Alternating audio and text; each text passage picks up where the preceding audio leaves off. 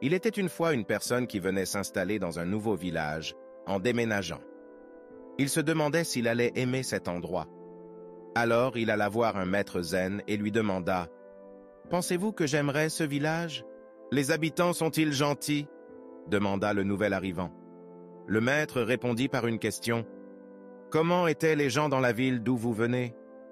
Ils étaient méchants, avides, en colère, et vivaient dans la tromperie et le volume dit le nouvel arrivant. Ce sont exactement le type de personnes que nous avons dans ce village, dit le maître. Un jour plus tard, un autre nouvel arrivant au village visita le maître et posa la même question. Le maître demanda à son tour, « Comment étaient les gens dans la ville d'où vous venez ?» Ils étaient doux, vivaient en harmonie, prenaient soin les uns des autres et de la terre. Ils se respectaient mutuellement et étaient en quête de spiritualité répondit le nouvel arrivant. Eh bien, ce sont exactement le type de personnes que nous avons dans ce village, dit le maître. Tu vois, dans ta vie, quoi que tu vois dans le monde, le monde le verra en toi.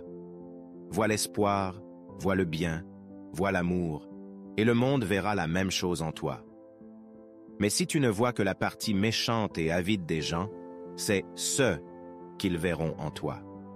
Alors sois bon envers le monde, et le monde sera bon envers toi. Offre de l'amour au monde, et le monde t'en donnera en retour. C'était l'histoire de motivation du jour.